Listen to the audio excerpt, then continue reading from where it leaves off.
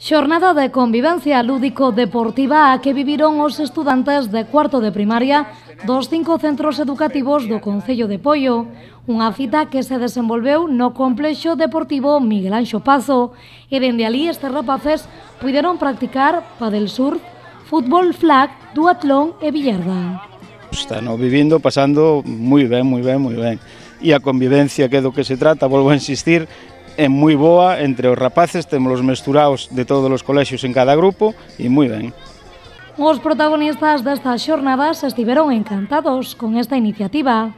Estuvo bien, nos divertimos e conocimos a gente nueva. Sí, estuvo moi ben. Eh, fixemos moitas cousas variadas e tamén estuvo moi ben. Moi ben. Por que? Por que che gustou? Porque eh, facemos cousas variadas e eh, e me o pasai moi ben. Eh, me pareceu moi ben. Por que che gustou? A ver.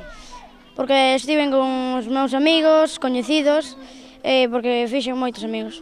Encantoume. Por que?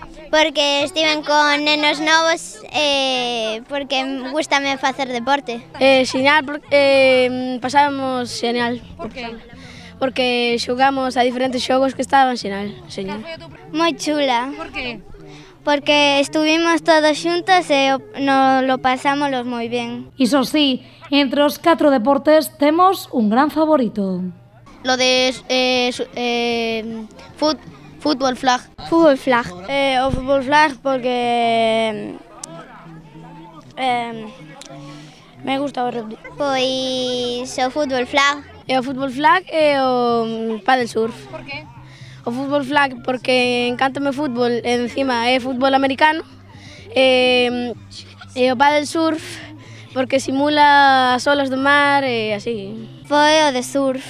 Unha xornada de convivencia que serviu para chegar a estes estudantes a deportes que se ofrecen dende o Concello de Pollo, xa que este municipio conta con escolas deportivas de paddle surf, de billarda, de duatlón e de fútbol flag. ¡Chao!